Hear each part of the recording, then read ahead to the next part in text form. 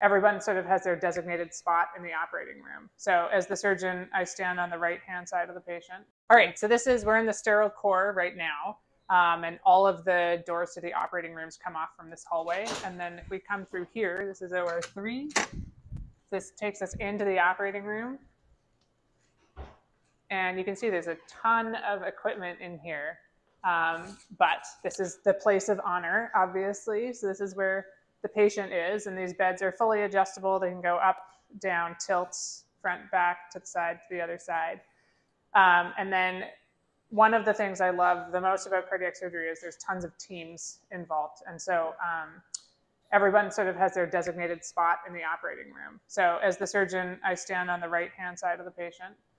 Uh, my assistant will stand on the left-hand side of the patient. And then the nurses will bring in, oh, here, these huge tables over here will hold all of their equipment. So they'll roll those over here so that all of the multiple instruments that we need for the operation is right here. Everything will be draped and sterile, of course. Anesthesia is here. So they will be putting the breathing tube in and intubating the patient. They'll be managing all the medications.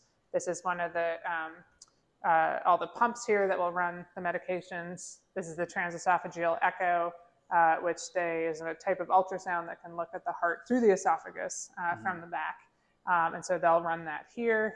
Then they have um, their uh, Pyxis with all the different meds in here as well, more computers, their whole um, ventilator and gas management here. So both anesthetic gases and oxygen.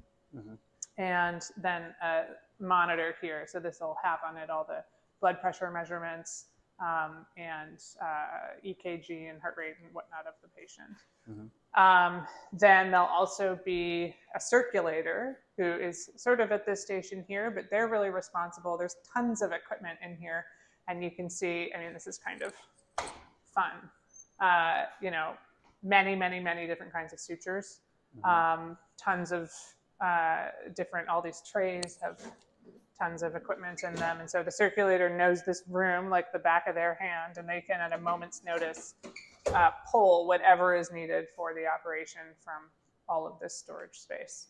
Um, so that's the gist of it. What's your What's your favorite part to be in? Where's like I mean, spot? I'm sorry, like right here. All right, sweet. I just want to be right here. there you go. Very nice. Yeah.